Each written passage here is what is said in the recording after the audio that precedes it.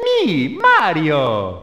Ele é uma das vozes mais conhecidas dos videogames, mesmo muitas vezes não falando nenhuma palavra.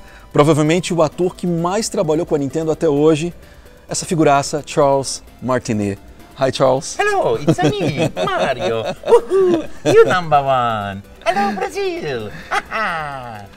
Charles, uh, okay, just for the audience to be aware, um, you're always remembered by doing Mario's voice, but actually, you also do other other characters uh, and Ma- Yes, Nintendo I games, do. right? Let me think who else. Oh yeah, Luigi number one. Luigi number one. Ho ho. And Wario, have a rotten day. Yahoo. Oh wait, say something nice, mommy said. There.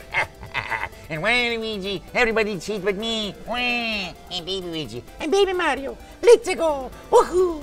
Oh, how did you get, develop this this those voices? I just you know through sheer play and fun. Uh, it's just been such a thrill working with nintendo. They give me so many opportunities to play that it's like we, we were recording like playing in a sandbox for kids. You know it's it's come and play and, and we do and i go up and there's another character there. One day there was wario there and another time there, there's Luigi, and it's just been one gift after the next. It's, it's really fabulous. And it's just about 29 years ago that I auditioned for for Mario. Oh my God, 20, Out of the blue. 29. Yep.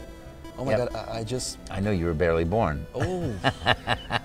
uh, do you have uh, total autonomy to make this voice, to create uh, and develop these, these you know, voices? I, I was absolutely doing what actors do, sitting on a beach waiting for the phone to ring. And a friend of mine called me up and said, Go crash this audition. And I have no idea why, but I went. I crashed the audition, and the direction was make up a voice, make up a video game, start talking, and when you run out of things to say, that's your audition.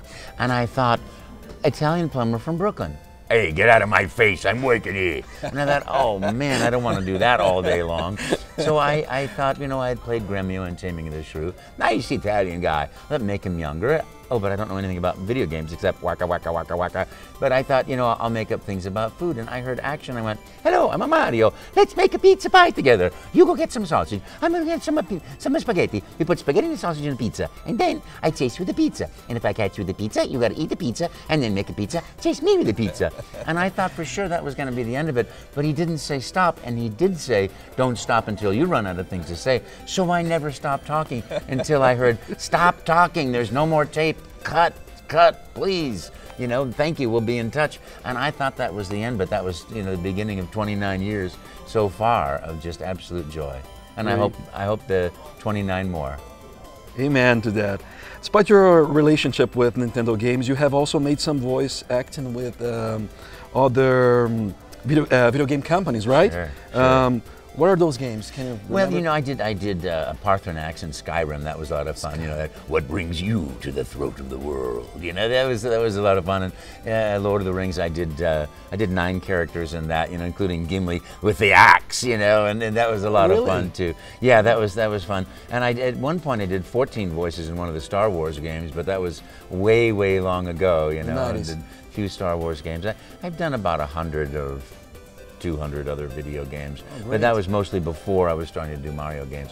Once I started doing Mario games, I was having so much fun that this, this is what I want to do. Mario. Mario is a character of few words. Uh, would you like to see some uh, fully voiced Mario game? No, I like it exactly the way it is. You know, there, there's a, a, a, a marvelous aspect uh, that a Mario game from 30 years ago and a Mario game today is, is you know it's a Mario game. And if all of a sudden Mario starts talking da da da da, it will change that game. And I think it's part of the magnificent magic that the game carries that same thread all the way through. And so I'm, I'm very happy with What it. is, fa- what is your favorite one?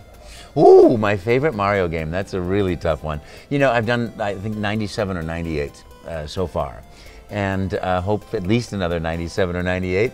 Um, but um, I, I- Mario 64 was the first time I put the voice in the game. And that was a magical experience. You know, none of us had put Mario in a, in a video a voice game, and it was in 3D, and it was a whole new platform. And that was a magical recording session. But then, you know, skip forward to Super Mario Odyssey, and there's another absolutely magical. I saw Cappy, and that's the thing, there it is again. Cappy is so different from anything you've seen in Mario, Yeah. but it's consistent. It's you believe that that absolutely is there and plausible because that's the Mario magic, you know, that something like that could happen. And that's the sort of surprise that you get that keeps you going, "Oh yes, I can't wait for the next one." You know?